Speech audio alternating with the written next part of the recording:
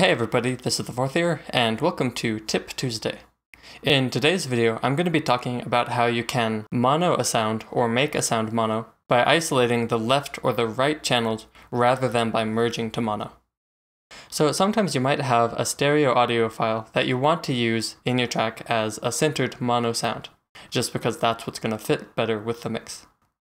And in some cases, merging to mono is fine, sometimes that's what sounds best. But in other cases, merging to mono can uh, cause some problems. You know, maybe there's some phasing issues, or maybe there's a weird sound that you have in one channel that you don't have in the other. But, you know, whatever it is, sometimes it's better to isolate one of the channels instead of merging to mono. Um, so here's an example of a case where I would want to do this. Uh, if I play this lead, it sounds pretty good, I think, in stereo.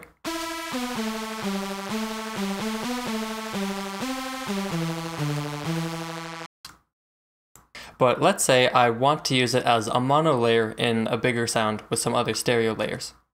Unfortunately, when I merge this to mono, you know, set this 100% merged, it will be in mono, but you'll hear it loses a lot of its nice character that it has. You know, it kind of loses its crunchiness um, and has a weird, uh, really fast tremolo effect on it now.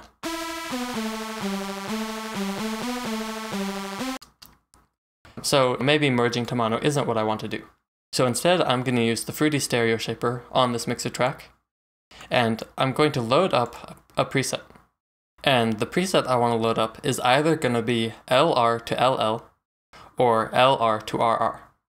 And so what these presets do is pretty much what they say. It takes it from um, LR in the left and the right channels to LL. So uh, this one isolates the left channel and plays it through both the left and the right. So you have essentially a kind of mono sound. And this one does the same thing, but with the right channel. So my recommendation is to try out both and see what sounds best to you. Uh, sometimes they're going to sound really, really similar, and other times there might be some more differences between the left and the right channel.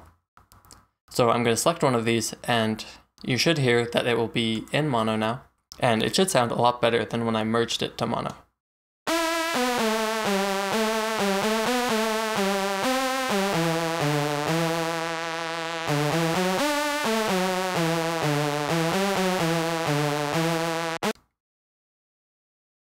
So that, you know, definitely sounds a lot better than if I turn this off and then merge it again.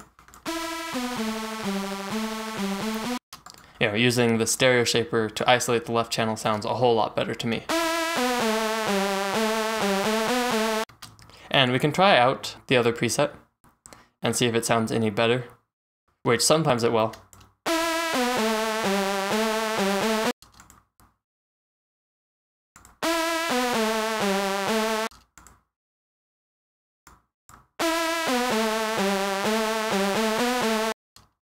So they sound really quite similar. I think the um, left, isolating the left channel sounds a little bit better, a little bit more crunchy. But you know, basically go with whatever sounds best to you. So that's pretty much it for this video. You know, hopefully if you run into this kind of problem in the future, now you know how to solve it effectively using the Fruity Stereo Shaper. And I will see you in the next video. Hey guys, thanks for watching the video. If you thought it was helpful, please be sure to leave a like and maybe a comment if you have any questions or requests for future videos. If you're new to the channel, I encourage you to subscribe and have a look around. I've already uploaded a bunch of tutorials and I try to release new ones every week.